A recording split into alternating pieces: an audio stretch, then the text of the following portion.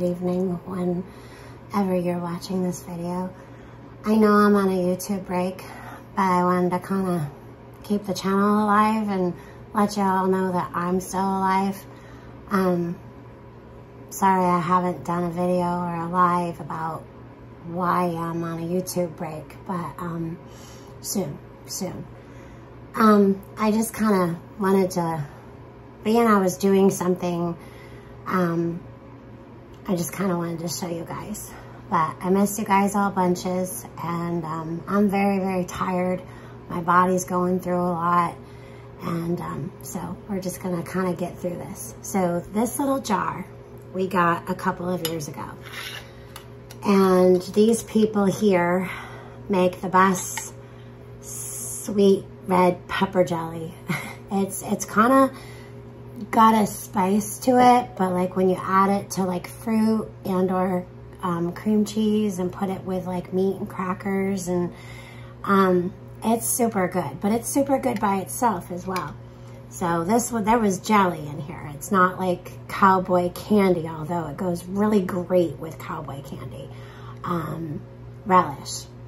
But this was a jelly. And I just want to save the jar. They're great, great people. And sometimes you don't really want to use the jar.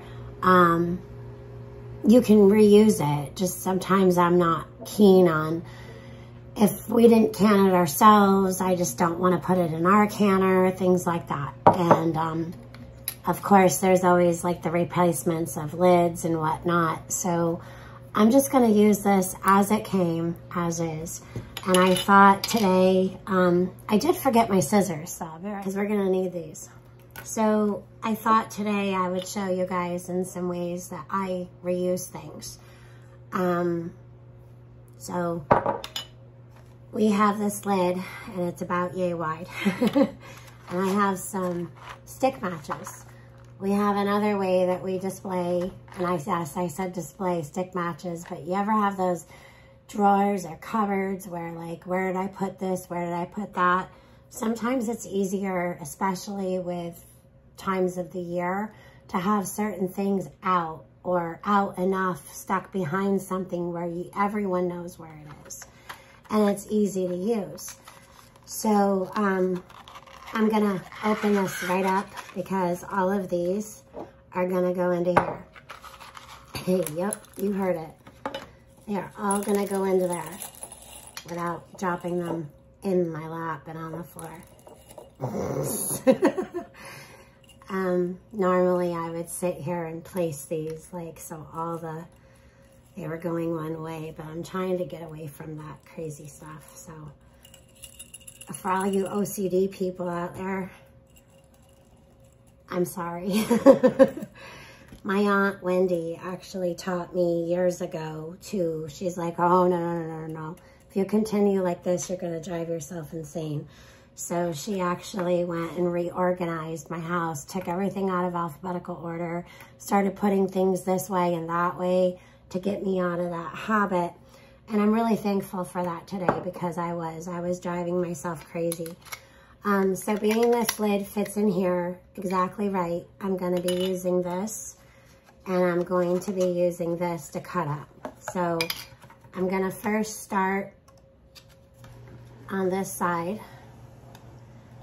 And these are really, really bad scissors. They're really bad. I think I grabbed my grandson's scissors. I have another um, orange handled nice pair of scissors and well, um, that, that just wasn't it. So I'm gonna cut the striker parts off on both sides.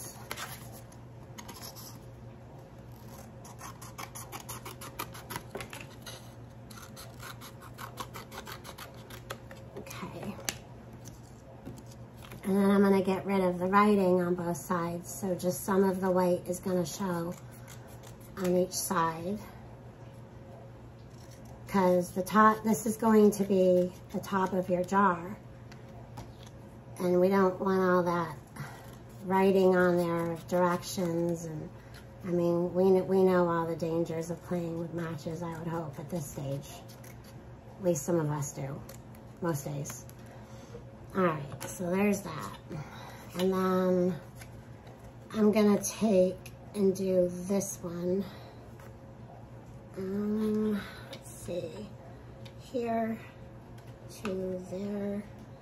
And you want a little bit of overhang so it fits in the lid really nice. Um,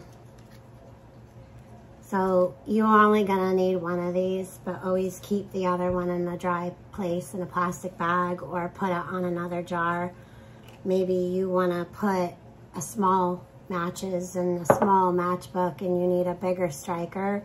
So always save that. See, about yay. So I'm gonna take this and this and I'm probably gonna cut the corners off a little bit just so it doesn't, I don't want it real snug, but I want it snug enough.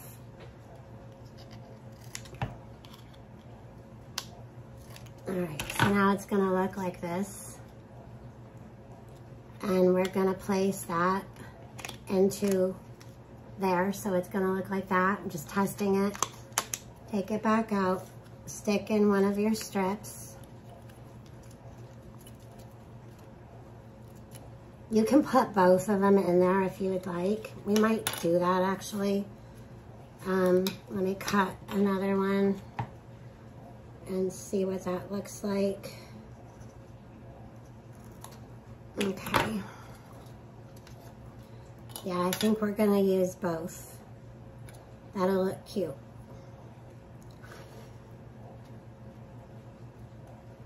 And another reason you want these to overhang a little, because when you push them in, they're gonna go up into the lid.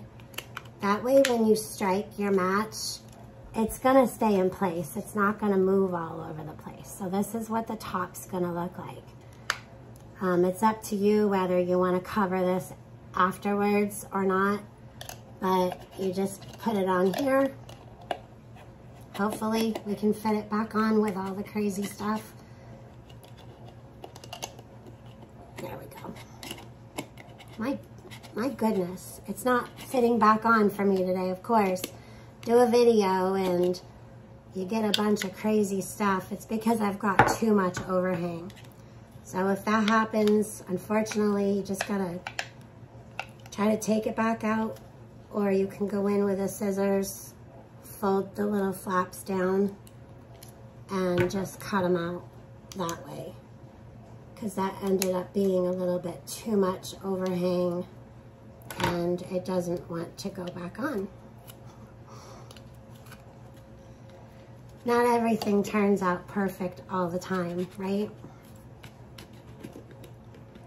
So still needs to have a little bit more overhang cut out, but as you can see now, so you just take it off, you grab your match.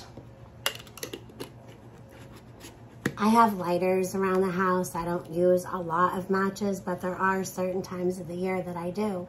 So boom. Um, and then we can just light the candle up here and light another one over here.